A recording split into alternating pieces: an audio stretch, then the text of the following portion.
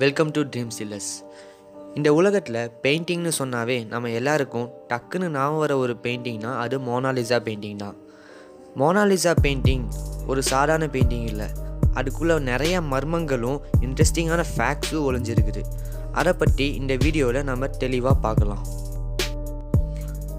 Mona Lisa பெயிண்டிங்கை வரைஞ்சது யாருன்னா நம்ம Leonardo da Vinci தான். இது அவர் ஆயிரத்தி ஐநூற்றி மூன்றாம் ஆண்டிலிருந்து ஆயிரத்தி ஐநூற்றி ஆறாம் ஆண்டு வரை வரைஞ்சாது இந்த பெயிண்டிங்கோட தற்போதைய விலை என்னன்னு பார்த்தீங்கன்னா எட்நூற்றி இருபது மில்லியன் டாலர் அதாவது நம்ம இந்திய மதிப்புப்படி சுமார் ஐயாயிரத்தி எட்நூறு கோடி வருது. இந்த பெயிண்டிங்கில் இருக்கிற மோனாலிசாவோட இன்னொரு பேர் என்னென்னா லா கியோகோண்டா. நம்ம எல்லாருக்கும் இந்த பெயிண்டிங் ஒரு சாதாரணமான பெயிண்டிங்காக தெரியலாம். ஆனால் டாவின்சி இந்த பெயிண்டிங் மூலமாக நமக்கு ஏதோ ஒரு விஷயத்தை சொல்ல நினைக்கிறாரு. மோனாலிசா பெயிண்டிங்கில் சில சீக்ரெட்டான கோட் வேர்ட்ஸ் எல்லாம் இருக்குது. அந்த கோட் வேர்ட்ஸ் எல்லாம் என்னன்னு இப்போ பார்க்கலாம்.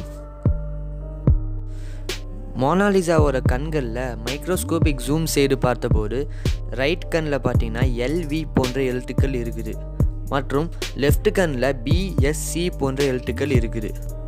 எல்விங்கிற எழுத்து பார்த்தீங்கன்னா அதை வரைஞ்சால் லியனார்டோ டாவின்சியை குறிக்குதுன்னு நம்ம சொல்லலாம். ஆனால் பிஎஸ்சிங்கிறது எதை குறிக்குதுன்னு தெரியல. மோனாலிசாக்கு பின்னாடி ஒரு பிரிட்ஜ் இருக்குது. அந்த பிரிட்ஜில் ஜூம் செய்து பார்த்தபோது செவன் டூங்கிற எழுத்துக்கள் இருக்கிறதா கண்டுபிடிச்சிருக்காங்க. லேசர் ஸ்கேனிங் மூலமாக இந்த பெயிண்டிங்கை ஸ்கேன் பண்ணினப்போ மோனாலிசாக்கு பின்னாடி வேறு ஒரு பெயிண்டிங் இருப்பதாகவும் மேலே இருக்கிற பெயிண்டிங் வந்து பொய்ன்னும் பின்னாடி இருக்கிற பெயிண்டிங்னா உண்மையான மோனாலிசான்னு சொல்கிறாங்க மேலே இருக்கிற பெயிண்டிங் பார்த்தீங்கன்னா நம்ம எல்லாத்தையும் டெசர்ட் இருப்பதற்காகவும் இல்லை டிஸ்ட்ராக்ட் பண்ணுறதுக்காகவும் வரைஞ்சிருக்கலாம்னு சொல்கிறாங்க ஆயிரத்தி தொள்ளாயிரத்தி பதினோராம் ஆண்டு வரைக்கும் மோனாலிசா பெயிண்டிங் அவ்வளோக்கா ஃபேமஸாக இல்லை.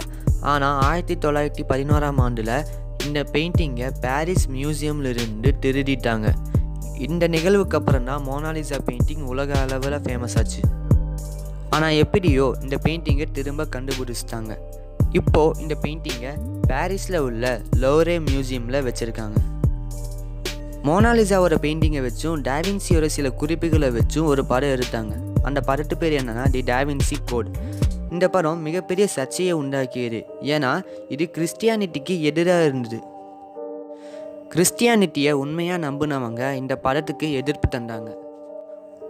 உங்களுக்கு டைம் கிடைச்சா கண்டிப்பாக இந்த படத்தை பாருங்கள் ஸோ தேங்க்யூ கைஸ் நாங்கள் இன்னும் ஒரு நல்ல வீடியோவில் வந்து சந்திக்கிறோம். ஸோ அது வரைக்கும் ஸ்டே டியூன்